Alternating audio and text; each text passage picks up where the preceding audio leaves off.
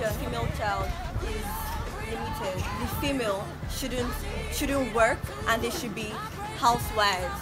And I feel that it's not meant to be so because we're all created by God and we're all equal.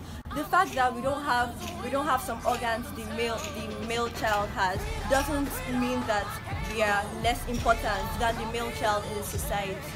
Education be limited for anyone. The girl child is not just a mere gender. Now, most girls face some difficulties. We also have some things to face like pregnancy, childbirth, and menstruation. Being a girl child is not actually easy because we face a lot of things that most males don't have to face.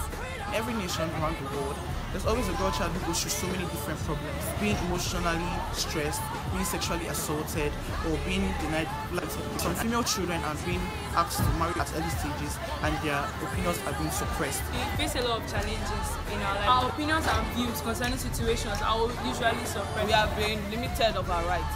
I am aspiring to be a pharmacist and no one will limit that. Women who can think and women who can make their own decisions and fight for themselves, capable of just about anything, anything at all. With menstruation, pregnancy and all the things that only females go through. These situations make us stronger and even the neglect and discrimination we always receive, don't let it bring us down.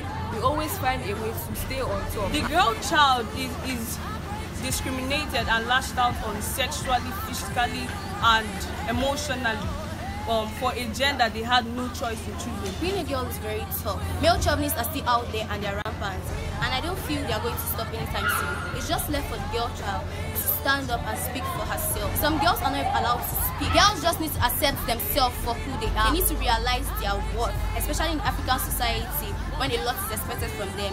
Where she has to know how to dress, how to talk, when to talk, and how to cook. I feel girls should just stand up, stand up and show world what they are made of, what girls can do. I believe and I strongly stand for the saying, what a man can do, a woman can do it much better. My advice to the girls of today is to fight and keep pushing on because our gender will surely make a difference in the world. My advice to those girls out there I feel they should stand strong to persevere against every negative opinions against them that we have worth, that we we have our own rights. We can do whatever we want to do. We can challenge whatever we want to challenge.